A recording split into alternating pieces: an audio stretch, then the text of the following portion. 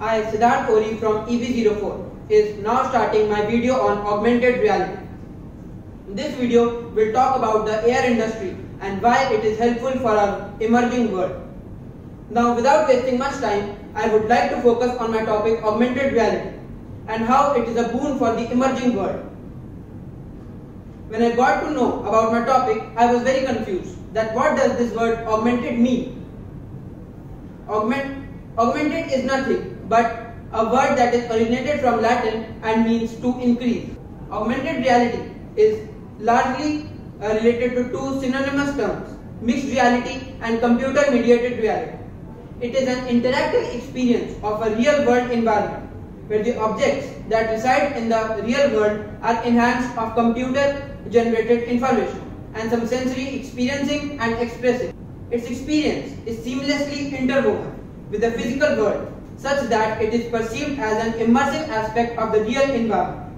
In this way, augmented reality alters one's ongoing perception of the real world environment. So now I would like to tell the technology and the hardware used in augmented reality.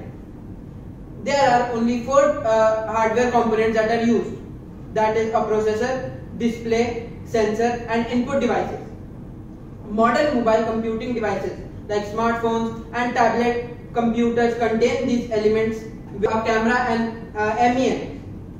Sensors such as an accelerometer, GPS, uh, solid state compass making them suitable for AR platforms. So this would be a little complex but very important as we should know the technology is used in AR as well as VR, diffractive waveguide and refractive waveguide.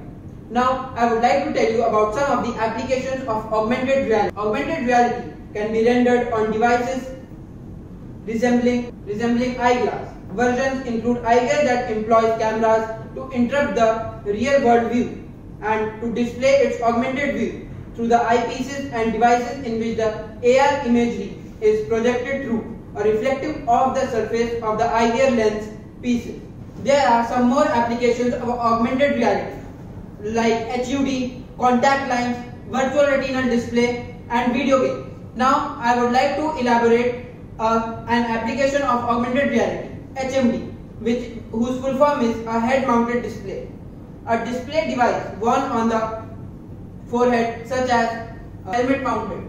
Modern HMDs often employ sensors for 6 degrees of freedom, monitoring that allow the system to align virtual information to the physical world and adjust accordingly with the users. January 2015, Meta launched a project led by Horizons Venture. Uh, in Meta 2 head-mounted display headset, it uses a 90 degree new field of resolution and display of 20 pixels 20 pixels per degree which is considered the largest view of largest view currently has two sides. So now i will tell you the disadvantages of augmented reality.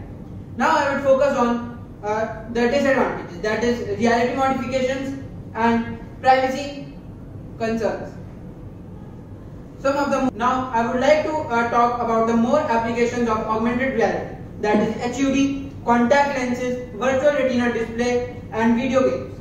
I would like to elaborate on, a, on an application of augmented reality, HMD, a head-mounted display. A display device worn on the forehead such as a harness or helmet mounted. Modern HMDs often employ sensors for 6 degrees of freedom, monitoring that allow the system to align virtual information to the physical world and adjust accordingly with the user's head movement. In January 2015, Meta launched a project led by Horizons, Horizons Venture, Tim Draper and Gary in Meta, uh, the Meta 2 head-mounted display, sensory array for hand interactions and positional tracking, visual field of 90 degrees and resolution display of 20 degree pixels, 20 pixels per degree, which is considered the largest field of view currently available. Now as said, a coin always has two sides. The dangers of AR. Now I would like to uh, focus on the disadvantages of augmented reality, reality modifications and privacy concerns. The first AR system was made by US Air Force in 1992. At the end, I would conclude by saying that I hope everyone would be able to now understand the meaning of augmented reality and now never get confused between virtual reality and augmented reality. Thank you.